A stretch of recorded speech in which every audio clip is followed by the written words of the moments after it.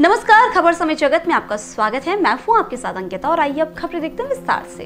उमरिया। माध्यमिक शिक्षा मंडल मध्य प्रदेश भोपाल द्वारा जारी कक्षा दसवीं के परीक्षा परिणाम में दिखा उमरिया ज़िले का दबदबा। ज़िले के पाँच होना छात्रों ने प्रदेश की प्रावीण्य सूची टॉप टेन में बनाई जगह। जिला प्रशासन ने इन मेधावी छात्रों के लिए मेधावी छात्र सम्मान का किया आयोजन। माध्यमिक शिक्षा मंडल मध्य प्रदेश भोपाल के द्वारा कक्षा दसवीं एवं बारहवीं के नतीजे जारी किए गए हैं, जिसमें उमरिया ज़िले का दबदबा स्पष्ट रूप से दिखाई दिया है, जिसमें टॉप टेन की सूची में ज़िले के पाँच होना छात्रों ने हाई स्कूल परीक्षा में प्रावीण्य सूची टॉप टेन में स्थान अर्जित कर ज़िले का नाम गौरवान्वित किया है तो वहीं कक्षा बारहवीं में भी तीन छात्रों ने प्रावीण्य सूची में स्थान बनाया है, जिसे देखते हुए जिला प्रशासन ने कलेक्ट्रेट सभागार में मेधावी छात्र सम्मान कार्यक्रम का आयोजन किया, जिसमें कलेक्टर कृष्णदेव त्रिपाठी ने पंद्रह मेधावी छात्रों को शील्ड एवं प्रशस्ति पत्र देकर सम्मानित किया। कलेक्टर कृष्णदेव त्रिपाठी ने मेधावी छात्र छात्राओं को शुभकामनाएँ देते हुए कहा कि पढ़ाई हमारे जीवन के लिए बहुत ज़रूरी है, पूरे मेहनत, निष्ठा एवं लगन से किया गया कार्य हमेशा सफलता ही दिलाता है। विपरीत परिस्थितियों में भी शिक्षा प्राप्त करते हुए अच्छे अंक लाना गौरव की बात है। उन्होंने कहा कि पूरी तन्मयता के साथ सभी छात्र पढ़ाई करें, आगे और भी अवसर प्राप्त होंगे। आप दूसरे विद्यार्थियों के लिए प्रेरणा का स्रोत बने। आगे किस क्षेत्र में जाकर कार्य करना उस पर भी अभी से ध्यान दें।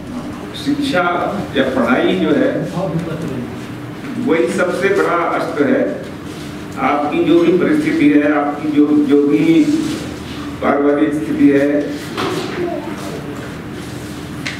उसमें से निकल करके बहुत आगे बढ़ने के लिए। पढ़ाई या शिक्षा इंडिविजुअल एफर्ट यानी व्यक्तिगत रूप से यदि स्टूडेंट पूरी मेहनत, पूरी लगन से उसमें अपना जो इस वर्ष के परीक्षा परिणाम में ज़िले की प्रामाणिक सूची में प्रदेश की प्रामाणिक सूची में ज़िले के बच्चों ने बहुत अच्छा स्थान हासिल किया है।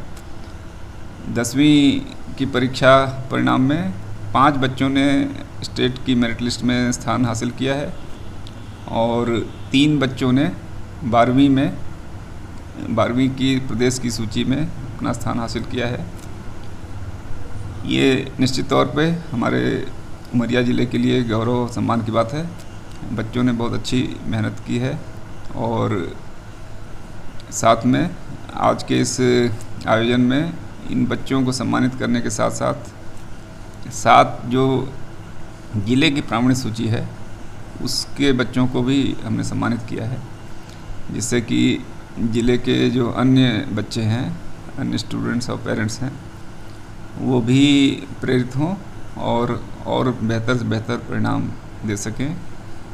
ज़िले का भी परिणाम, ज़िले का भी परफॉर्मेंस इन बच्चों की प्रेरणा से बेहतर होगा, ऐसा मुझे विश्वास है।